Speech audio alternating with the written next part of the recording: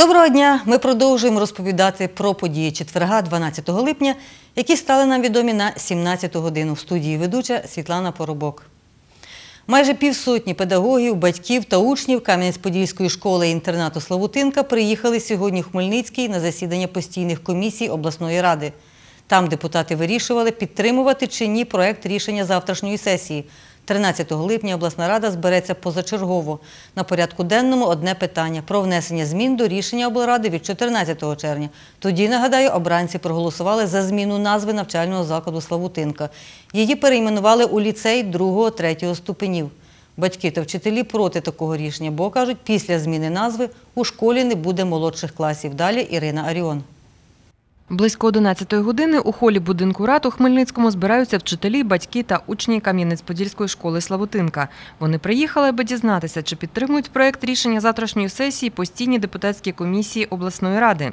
Ми сьогодні тут, аби скасували попереднє рішення, яке було прийнято 14 червня 2018 року про закриття першого ступеню у школі-інтернат Сла- Славутенка і заодно переіменувати її в ліцей других, третіх ступенів. Тобто ми розуміємо, що перший ступінь вже відпадає і ліквідовується молодша школа. Якщо буде негативне рішення сесії, ми налаштовані.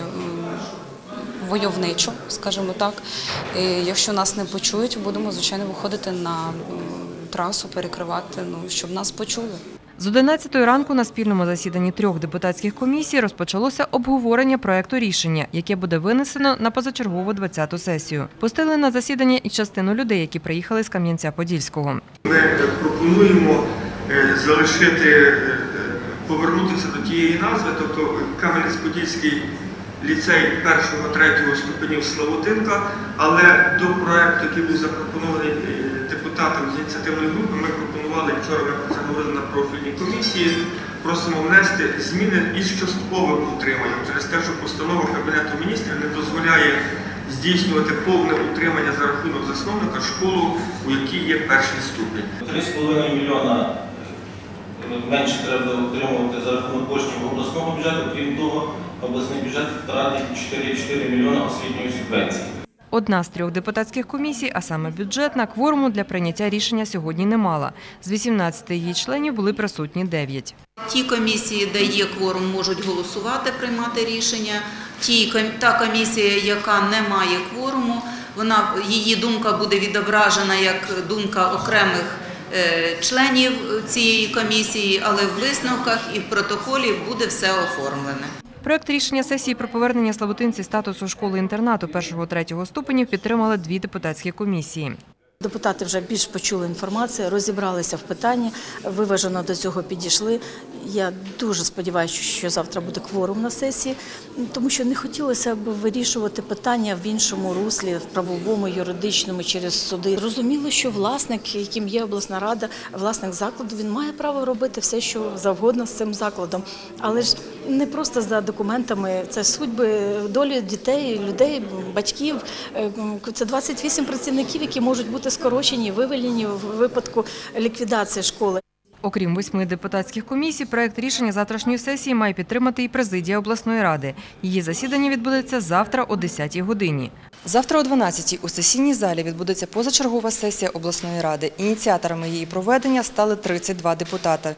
Саме вони звернулися до голови обласної ради з проханням скликати позачергову сесію. Нагадаю, відповідно до рішення сесії, яка відбулася 14 червня, навчальний заклад Славутинка змінив назву зі школи-інтернату на ліцей. Що ж стосується ступенів, то замість першого-третього у документі прописано другий-третій. Вчителі та батьки учнів кажуть, через цю зміну з 1 вересня 210 дітей не зможуть навчатися в початкових класах Славутинки. Ірина Аріон, Юрій Чорний. Новини Поділля Центр.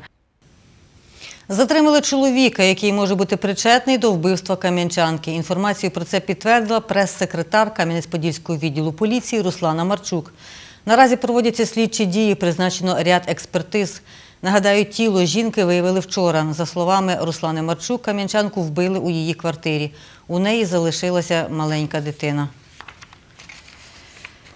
Хмельницькі підприємці, як приватні, так і комунальні, зможуть використовувати бренд «Бук міста» для випуску і просування власних товарів та послуг. Про це повідомила директорка Агенції розвитку міста Хмельницького Леся Герасимчук. За її словами, брендбук допоможе впізнати продукцію, виготовлену Хмельницькому, і популяризувати виробників.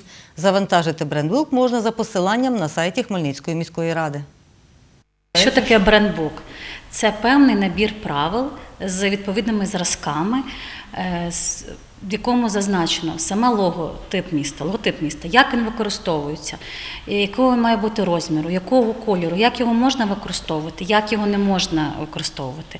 Окрім основного логотипу, це ще є суміжні логотипи, тобто е, такі логотипи, які можуть бути вик- використані міськими управліннями комунальними підприємствами, установами.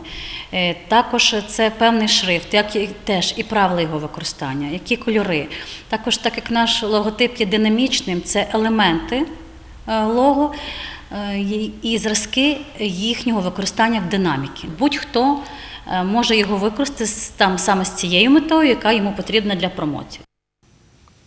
І маємо підсумки першого дня національних змагань із маунтенбайку або ж гірського велоспорту в Чернівцях. Результати повідомив тренер-викладач Хмельницької школи вищої спортивної майстерності, віце-президент обласної федерації велосипедного спорту Анатолій Білик. Сьогодні спортсменів був марафон. Зараз ви бачите відео велосипедисток на старті та на початку дистанції. І в марафоні серед жінок другою фінішувала хмельничанка зі школи вищої спортивної майстерності Ірина Слободян.